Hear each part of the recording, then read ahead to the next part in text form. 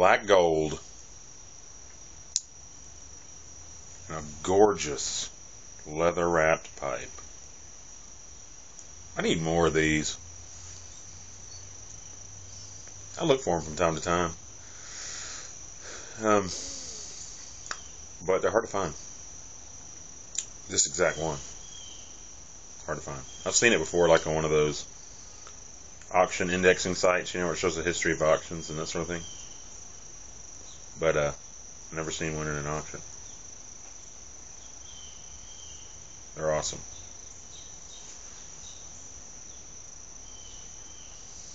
This is a sample that I got from uh, Black Ops Tobacco Society. And um, I contacted him last week and asked him if he could uh,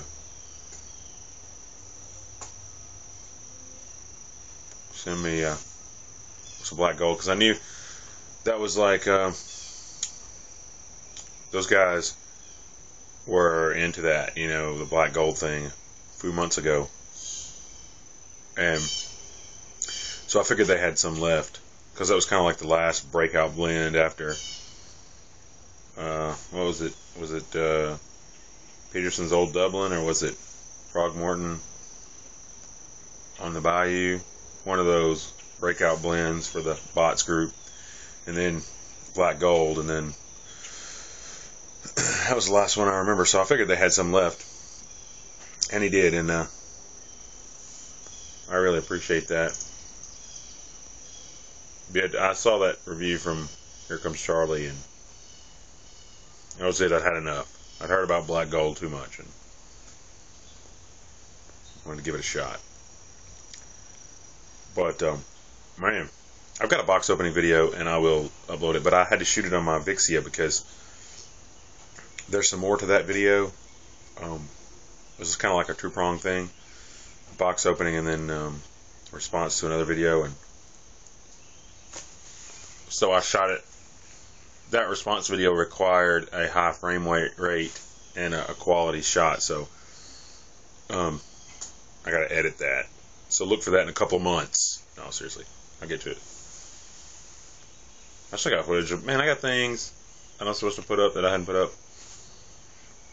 I got footage of us fly fishing recently. I got footage of the uh, the Prairie back when we went to that meetup thing. anytime I record stuff that requires editing, it kind of falls to the wayside.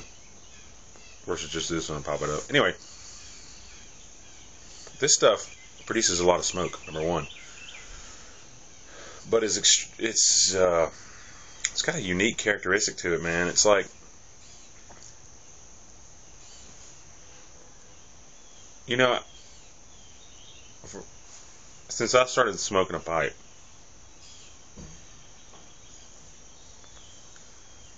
I've always been in search of something like this, but it's kind of uh, lackluster now that I've found it because I've kind of grown accustomed to the traditional aromatic. This, I don't know what kind of Cavendish they use in this thing. Some sort of Green River Burley Cavendish or something. I don't know. But it does not taste at all like tobacco. In fact, it tastes better than the bag note. It's pretty weird. And the room note is spectacular, according to my wife. She said it's her number two, right behind Boswell's Berry Cobbler, which is her favorite room note. But she said this smells very good. She said baking brownies, but I don't get that so much in the flavor. That's what they say on tobacco reviews too. It's like chocolate cake and brownies and that sort of thing. I don't know. To me, it's more like a. I guess it's a little chocolatey, but it's Maybe. It's just kind of a sweetness. I don't know. But the weird thing about it is, is like, you know, I said this before, but I feel like most blenders use the same components. Like, if you like an aromatic from Solani, you'll probably like most of their aromatics because they use the same Cavendish in each of their blends.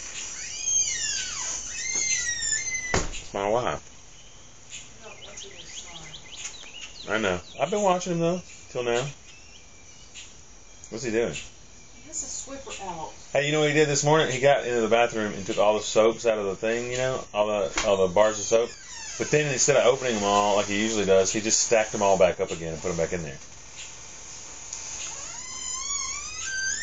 Oh man, that's trouble.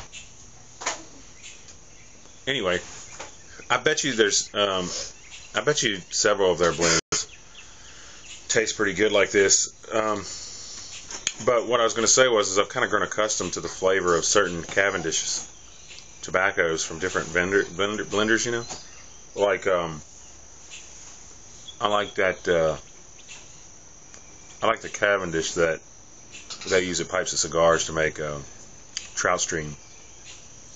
It's good, man. I like Trout Stream because I like that Cavendish, and I like the Cavendish and the blends that they use at uh, couple of local tobacconists, like the one in Gatlinburg, Gatlinburger. I like their Cavendish, but um, this tastes like the topping. That's all it tastes like. It's like you know if you're a if you're starting up and you're looking for that tobacco that tastes exactly like it smells, but this doesn't taste exactly like it smells. That's what's weird. So I'm saying it tastes better than the bag note. But it certainly does not taste like tobacco.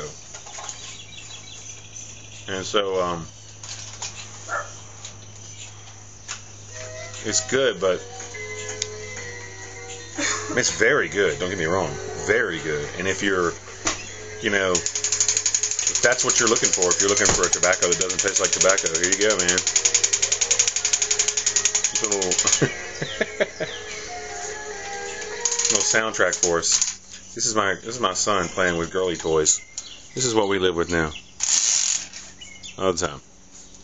That's all he's got, man. This all got. Are you serious? Girl toys, yeah.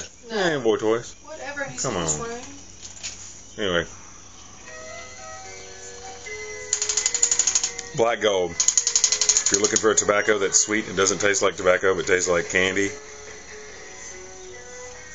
go for it. I'll probably buy some more of it, man. Because, uh, or buy some. I ain't buying any of this. Maybe one day. Because, I mean, it, it definitely fills a slot. God bless you and I hope you have a wonderful day.